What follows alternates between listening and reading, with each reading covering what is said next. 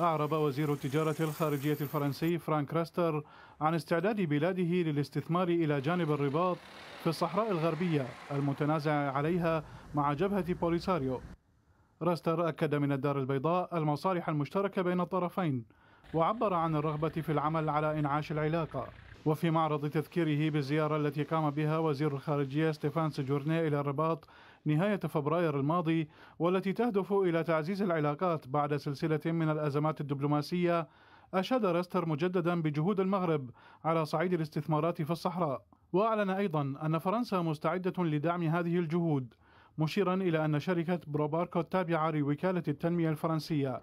والمخصصة للقطاع الخاص يمكن أن تساهم في تمويل خط الجهد العالي بين مدينتي الداخلة جنوب الصحراء الغربية والدار البيضاء. خطوة قد تلقي بظلالها على علاقات فرنسا مع جارة المغرب الجزائر التي ما زالت تنظر للصحراء الغربية بأنها منطقة متنازع عليها.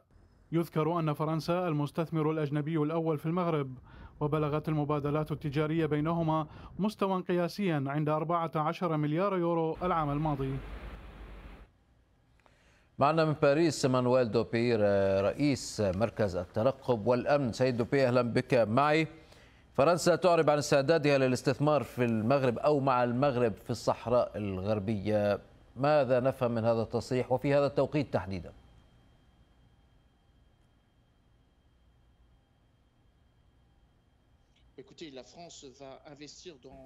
نعم. فرنسا ستستثمر في المنطقة الجنوبية للمغرب. ولكن هذا القرار هو قرار اقتصادي وليس قرارا سياسيا. الوزير ليستر أشار إلى أن فرنسا ستدعم استثمارات الشركات الخاصة. ولكن علينا أن نقرأ هذا القرار في إطار قرار اقتصادي. بمعنى أن هذا القرار ليس سياسيا وأن فرنسا لن تغير موقفها من الصحراء الغربية.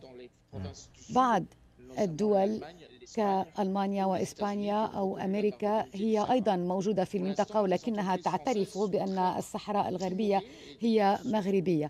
فرنسا حتى الآن غير موجودة عبر هذه الشركات إلى حد كبير ونعرف أن فرنسا هي من أهم الشركاء التجاريين للمغرب ولكن ليست هي الشريك الوحيد. هي في هذا المجال تتنافس مع إسبانيا. وقرار فرنسا هذا اتخذ لكي يستمر التنافس مع الدول الأخرى في المغرب. هناك من يرى العكس سيد دوبي. يعني كما تفضلت هو قرار اقتصادي ليس سياسيا ولكن هناك من يرى أنه قرار سياسي وليس اقتصادي أساسا. لأن هناك توقيت هناك محاولة خلال هذه الفترة لربما لتحسين العلاقات الجزائرية الفرنسية ولربما مثل هذه الخطوة قد لربما تعطل الجهود دعني أقول المبذولة لإصلاح العلاقات.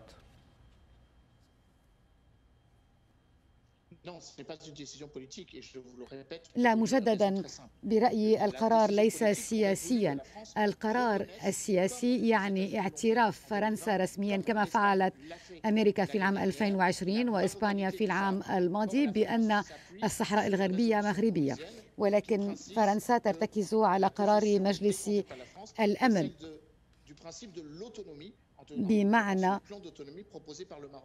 الخطة التي يقترحها المغرب للاستقلالية للصحراء الغربية. فرنسا لا تريد أن تتخذ موقفا هنا يؤثر سلبا على شركائها خاصة على الجزائر. علينا أن نتذكر أن الرئيس الجزائري سيأتي إلى باريس عما قريب ونحن نريد أن فرنسا تريد أن تحافظ على توازن بين علاقاتها مع المغرب ومع الجزائر ما المجالات التي ترى أن فرنسا مهتمة في الاستثمار فيها بالمغرب؟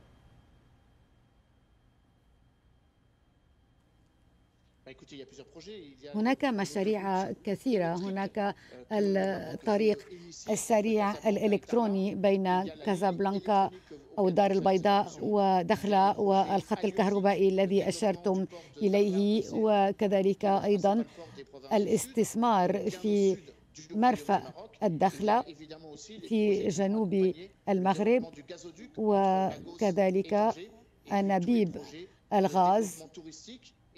وكذلك المشاريع السياسية وكل المشاريع التي ترتبط برغبة الملك المغربي بتطوير المناطق الجنوبية في إطار التنمية المستدامة. طيب يعني آه، إن إن إن دعني أقول آه، قامت الجزائر بفتح هذا الملف خلال الزيارة المرتقبة آه، دعني أقول للرئيس تبون لفرنسا ما الجواب الذي سيكون لدى فرنسا فيما يتعلق بالصحراء.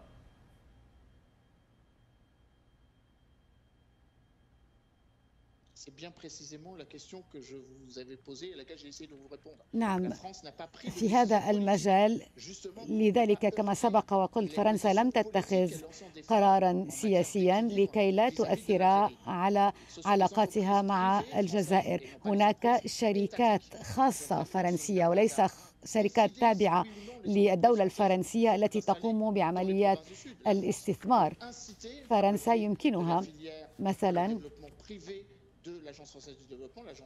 عبر شركة بروباركو التي تركز على القطاع الخاص يمكنها أن تساعد في دخول الشركات الخاصة الفرنسية إلى جنوب المغرب وذلك يجدر أن لا يغضب الجزائر لأن فرنسا توازن في علاقاتها بين الجزائر والمغرب. علاقات فرنسا تاريخية مع المغرب وتريد أيضا علاقة مستقرة مع الجزائر. لذلك فرنسا تريد من زيارة الرئيس تيبون إلى فرنسا أن تدفع بهذه العلاقة الصعبة بين الدولتين. سيد دبي آه، ما حجم الاستثمار المتوقع دعني أقول الفرنسي في منطقة الصحراء؟ نتحدث آه، ماليا.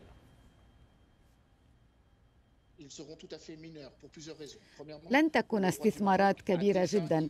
لأسباب كثيرة. ملك المغرب قد باشر بمشاريع البنى التحتية الكبيرة منذ عدة أشهر ولم يطلب من أي شركة فرنسية أن تشارك في هذه الاستثمارات. الاستثمارات الفرنسية تأتي بعد استثمارات الإمارات وإسبانيا وفرنسا وأمريكا وإسرائيل. علينا أن نتذكر أن فرنسا أيضا تلي الدول الموقعة لاتفاقيات إبراهيم في مجال الاستثمارات.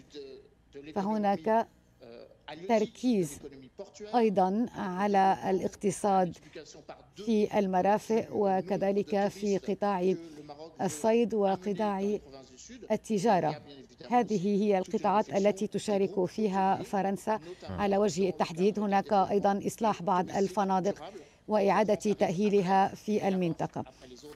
وبالتالي فرنسا تأتي بعد الدول الأخرى, الأخرى التي ذكرت ولكن أيضا مع خبرتها الخاصة في بعض المجالات المحددة في القطاعات الجنوبية. وفرنسا هي المستثمر الأجنبي الأول في المغرب. بلغت المبادلات التجارية بين البلدين مستوى قياسي عند 14 مليار يورو في عام 2023 أشكرك جزيل الشكر من باريس مانويل دوبي رئيس مركز الترقب والأمن.